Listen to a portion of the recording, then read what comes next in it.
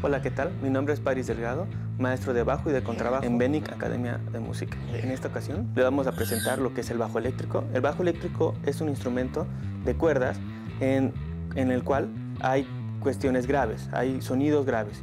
Eh, tiene cinco cuerdas como podemos ver aquí, pero originalmente el bajo eh, tiene cuatro cuerdas. Eh, puede tener cuatro, cinco, seis cuerdas y es lo que un poco suplantó al, al contrabajo.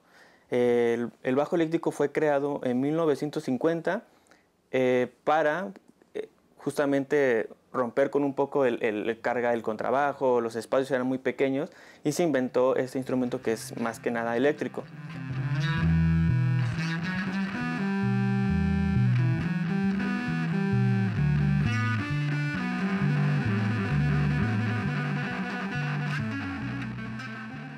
Estos son estos eh, pedacitos de, metal que están aquí y ayudan a poder tocar notas.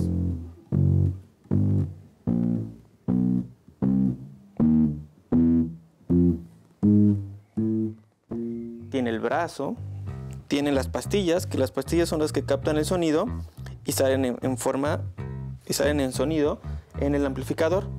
Eh, tiene volumen, tiene tono, tiene el puente, tiene el cuerpo tiene varias eh, cuestiones que son diferentes al contrabajo y mucho más parecidas a la guitarra.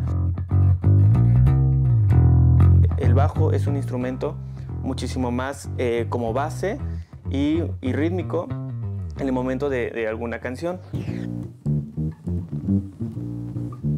El bajo tiene frecuencias graves y todo va girado alrededor de eso, ¿no? Las cuerdas tienen una afinación.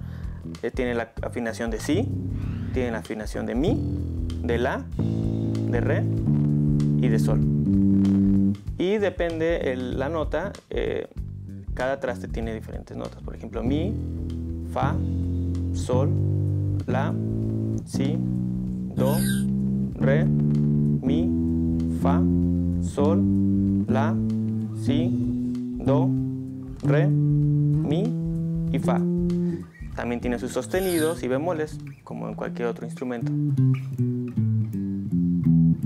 Eh, yo recomiendo mucho estudiar música, estudiar el bajo eléctrico, eh, porque ayuda bastante a la memoria, ayuda bastante a, que el niño o, el joven o, la persona mayor eh, tenga mayor disciplina, ayuda un poco a las conexiones cerebrales, motricidad fina, un poquito de motricidad gruesa también coordinación. Es, es un, eh, estudiar música es, es de lo mejor que podemos hacer. La música es, es de, las actividades que deben estar en todas las escuelas y debería de estar en, toda, en todo momento de vida.